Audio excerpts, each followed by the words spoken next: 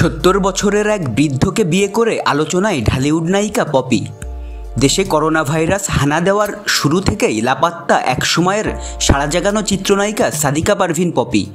প্রথম দিকে অভিনেত্রীর এই অনুপস্থিতিকে স্বাভাবিক মনে করেছিলেন মিডিয়া সংশ্লিষ্টরা।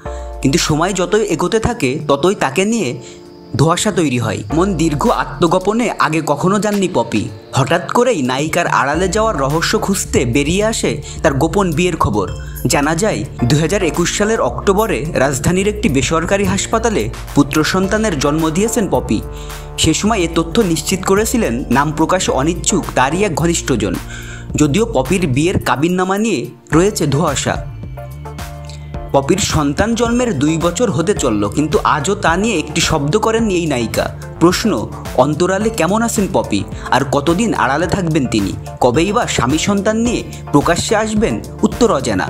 তবে জানা গেছে, এক জাহাজ ব্যবসায়ীকে বিয়ে করে সংসার করছেন পপি। স্বামীর নাম আদনান, বয়স সত্তর ছুঁই ছুঁই। এটি পপির প্রথম বিয়ে হলেও আদনানের দ্বিতীয় বিয়ে।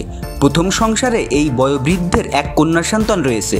স্বামীর পরিবার পপিকে এখনও মেনে নেননি। নায়িকাও তার নিজের পরিবারের সঙ্গে যোগাযোগ বিচ্ছিন্ন। মাঝে ছোট বোন সুমির সঙ্গে দেখা কিংবা যোগাযোগ হলেও এখন সেটিও বন্ধ। অনেকটা বাসাবন্দি চারিদিকে শত্রু সিনেমার এই নায়িকা। স্বামী সংসারে সেভাবে ভালো নেই নায়িকা পপি। সব কিছু থেকে নিজেকে গুটিয়ে নেওয়ার পর থেকে ব্যবহৃত ফোন নম্বরটিও বন্ধ করে দেন তিনি। করেছেন ঠিকানা বদলও। মাঝে পপির নতুন ফোন নম্বর সংবাদ মাধ্যমের এক প্রতিবেদকের হাতে আসলে যোগাযোগ করা হয়, দাম দিয়ে প্রেম যায় না কেনা অভিনেত্রীর সঙ্গে। তবে পরিচয় পেতেই মুহূর্তেই রং নম্বর জানিয়ে কথা বাড়ানোর আগেই ফোনটি কেটে বন্ধ করে দিয়েছিলেন তিনি।